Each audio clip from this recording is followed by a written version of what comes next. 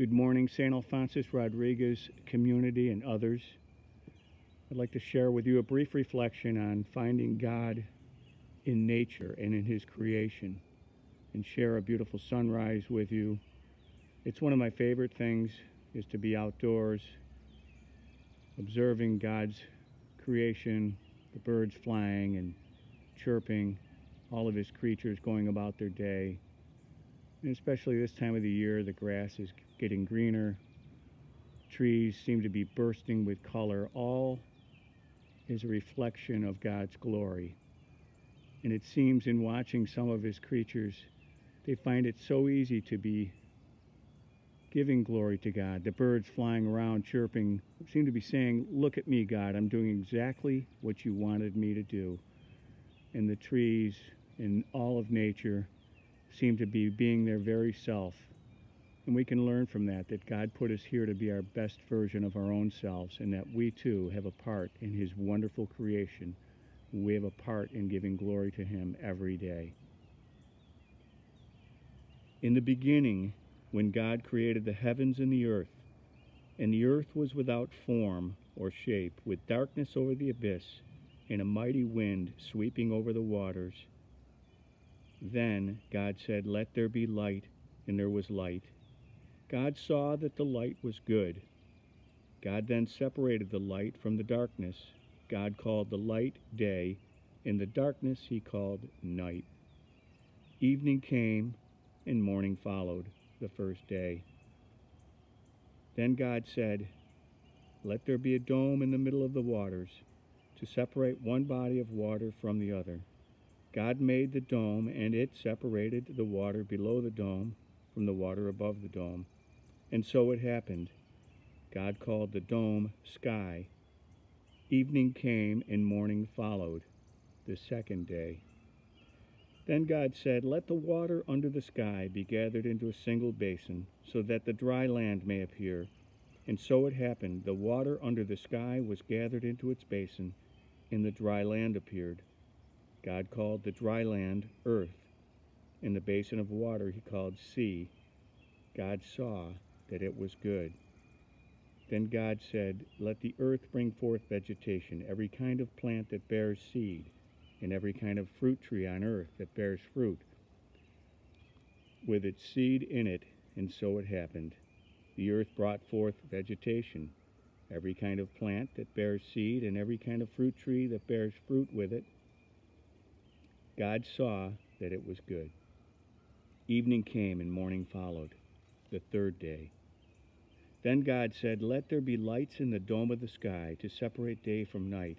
Let them mark the seasons, the days, and the years, and serve as lights in the dome of the sky to illuminate the earth.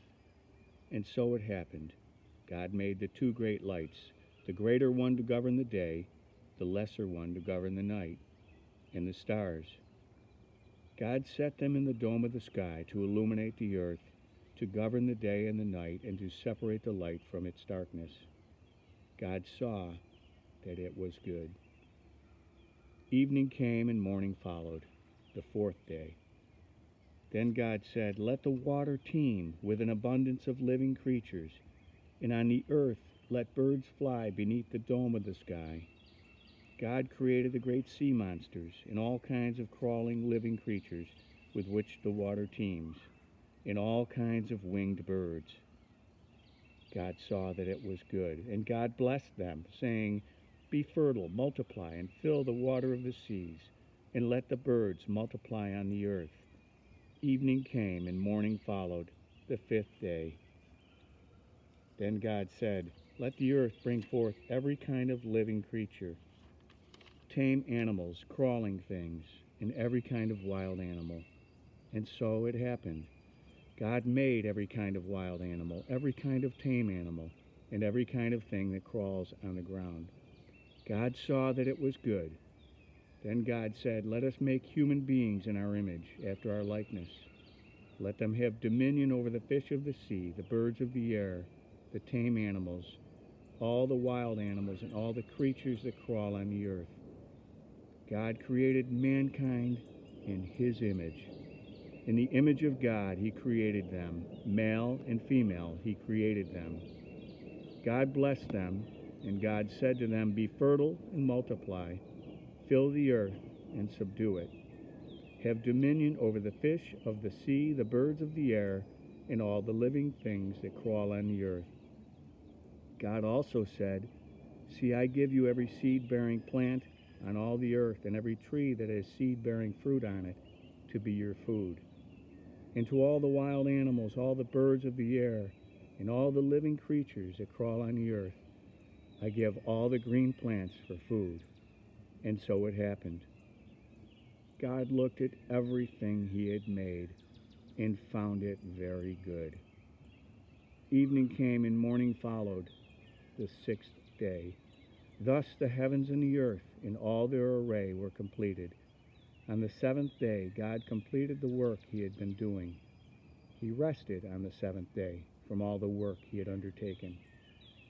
God blessed the seventh day and made it holy, because on it he rested from all the work he had done in creation. Indeed, God saw that it is good. All glory is His. He is in control. Let it be. Amen.